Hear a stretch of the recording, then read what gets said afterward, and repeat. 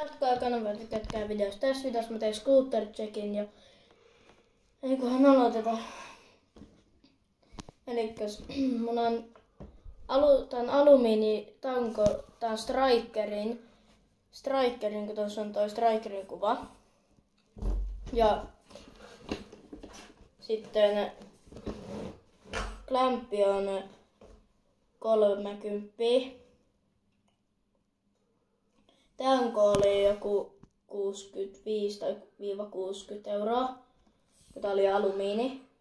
Sitten forkki, tai siis headsetti, mulla on Finscooterin headsetti, oli 30. Sitten forkki oli, Sekin on Strikerin. niin tää forkkikin on Strikeriin ja tää klämppikin taitaa olla. Niin on. Niin mulla on klämppikin Strikerin, sitten tää, mikä sitä olikaan, tää Forkki oli niin, niin 70 euroa. Sitten mulla on nää Finscooterin niin, niin öö, mu, musta, sin, sinimusta renkaat molemmissa. Pyörii ihan ongelmitta.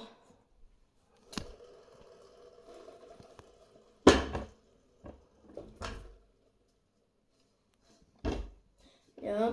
Ja sitten niin, niin mulla on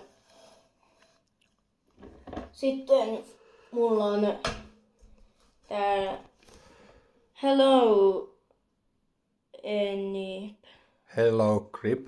Hello Grip. Tää dekkigrippi. Sitten mulla on tää dekki on ää, Strikerin Lux.